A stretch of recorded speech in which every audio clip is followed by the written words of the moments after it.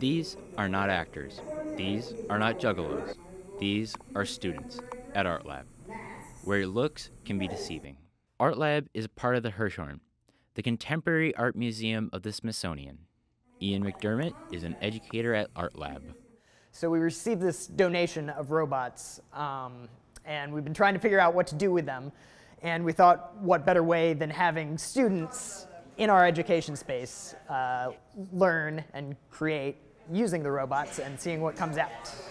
A lot of people think that uh, the robots are going to work right away from the get-go. So people will come up to the robots and try and interact with them, uh, thinking that they're going to respond like the AI that we're used to, like Siri or Alexa. Say, Ian, what's your favorite color?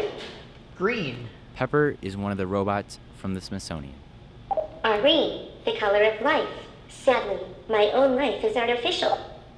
Darius Scott, a student at Art Lab, has found his passion in coding Pepper. By working with Pepper, I've been able to really understand how the technology in these museums is uh, working and seeing how technology is changing and really becoming more incorporated with uh, public use.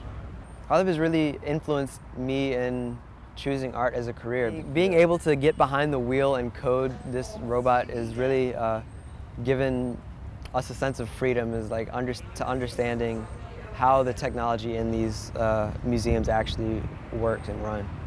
Sheridan Waters is another Art Lab student who works on the Pepper production team. Um, what interested me about Art Lab was the fact that I could create and the fact that I was given a space where I had access to technology that I wouldn't have had access to without Art Lab.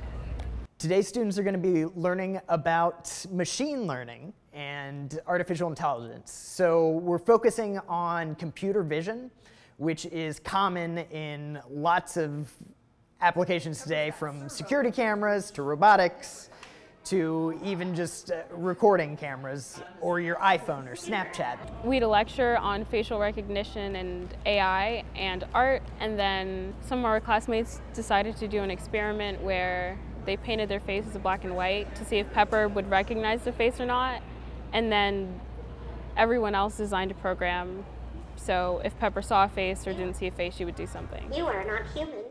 We would reverse the uh, coloring by coloring those uh, parts of our face white or black in order to uh, throw off the uh, cameras, to really get a good idea of how Pepper uh, scans our faces and searches for us.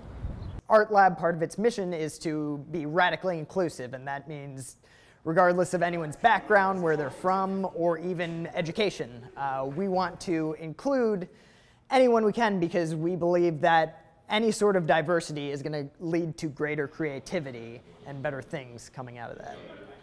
Being in Art Lab has changed me because now I'm able to think more creatively about the technology I'm using. I didn't think I would ever be a teacher uh, until I came into Art Lab. I didn't know that sort of reward when a student finally understands something. I'm passing this along to someone else. So there's a reward beyond just accomplishing a lesson, uh, and that's when it finally resonates inside of someone else. Making the user experience enjoyable, uh, seeing these little kids uh, interacting with Pepper and playing, having fun, wanting to take pictures with her, wanting to talk, waving at, at, at her and uh, actually getting her to respond to them. It's seeing their faces light up is that's exactly what we strive for, is making that user experience an enjoyable one. Hi, I'm Pepper, and you're watching the PBS NewsHour.